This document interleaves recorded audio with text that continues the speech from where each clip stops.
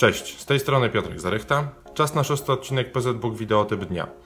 Dzisiaj bierzemy pod uwagę drugi mecz finału w konferencji zachodniej pomiędzy Golden State Warriors a Portland Trail Blazers.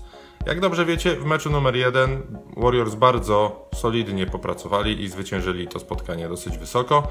Głównie ze względu na brak dobrej gry ze strony duetu obwodowego Blazers. Damian Lillard i CJ McCollum, bo o nich mowa, złożyli się wspólnie na 36 punktów, ale potrzebowali do tego aż 31 rzutów. Grali na naprawdę bardzo słabej skuteczności jak na siebie i to był jeden z głównych powodów, dlaczego Blazers przegrali. Nie byli w stanie po prostu uruchomić swojego ataku.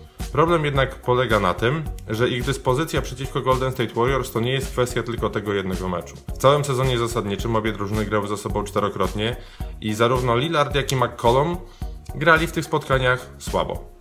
Teraz jednak skupię się na, na CJ McCollumie z tego względu, że to on w końcówce serii przeciwko Denver Nuggets był tym graczem, który zapewnił Blazers awans do finału konferencji. To on w kluczowych meczach trafiał najważniejsze rzuty i to też na nim bardziej się skupia moja analiza dzisiejsza. PZ Book przygotował dla Was fajną linię, jeśli chodzi o zdobycze CJ McColluma w meczu numer 2, mianowicie postawił ją na poziomie 22,5 punktu. Dlaczego jest ona tak istotna? Dlatego, że McCollum w tym sezonie zasadniczym czterokrotnie grał przeciwko Golden State Warriors i tylko jeden raz przekroczył tę granicę, raz rzucił 24 punkty. W ogóle w sezonie zasadniczym przeciwko Warriors notuje bardzo słabe jak na siebie, 18 punktów trafiając 36% z gry i 30% trójek.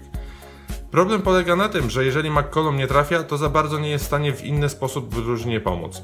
Damian Lillard jest w stanie wziąć na siebie obowiązki rozgrywającego i przynajmniej w ten sposób uruchamiać pozostałych graczy, jak chociażby Enesa Cantera pod koszem. McCollum tego nie ma, więc jak u niego nie siedzi rzut, to staje się on graczem minusowym. Dla porównania, sezon temu przeciwko Golden State Warriors McCollum rzucał ponad 26 punktów, trafiając 50% rzutów z gry i 45% trójek. Gdyby wrócił do takiej dyspozycji, no to wtedy szanse Blazers zdecydowanie by wzrosły w rywalizacji z Warriors i w walce o awans do finału NBA. Na razie jednak mój typ na spotkanie numer 2 jest taki, że CJ McCollum nie zdobędzie 22,5 punktu, że znowu zagra tak słabo jak mecz numer 1, w związku z czym polecam Wam postawienie under 22,5 na stronie pzw.pl. Dzięki za dzisiaj, do usłyszenia w następnym odcinku. Cześć!